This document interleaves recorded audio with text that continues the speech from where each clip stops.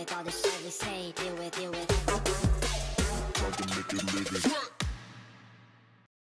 Was ist eigentlich Shellac?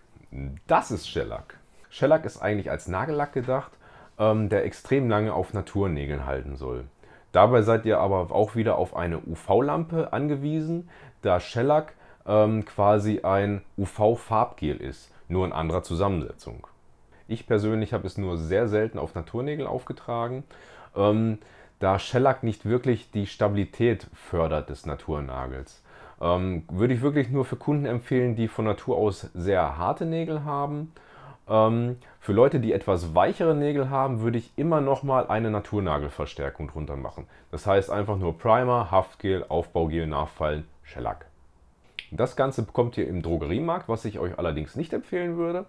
Ähm, ich würde lieber zum professionellen, äh, ich würde lieber zum professionellen Nagelshop tendieren, ähm, denn da könnt ihr sicher sein, dass die Zusammensetzung auch vernünftig ist.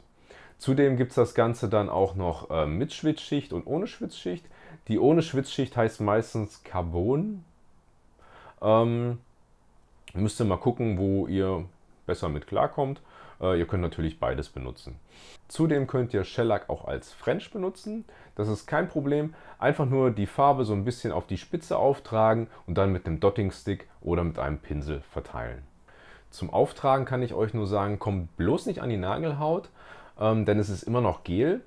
Und ähm, wenn ihr das dann aushärtet und ihr an die Nagelhaut gekommen seid, ist das immer so ein Fehler, ist das immer so eine Fehlerquelle. Ähm, da kann dann schnell mal Luft unter das Gel bzw. unter den Scheller kommen. Ähm, zudem tragt es nicht zu dick auf, denn wenn ihr es zu dick auftragt, kann es ähm, Fehler beim Härtung, bei der Härtung geben. Mhm. Lieber ein bisschen dünner und zweimal als zu dick und äh, fehlerhaft.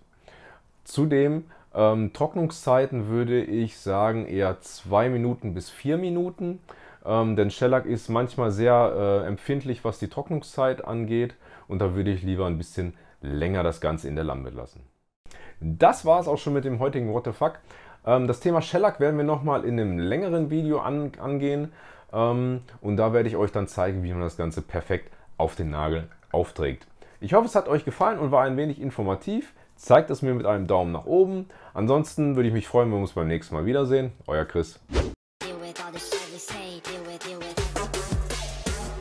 Deal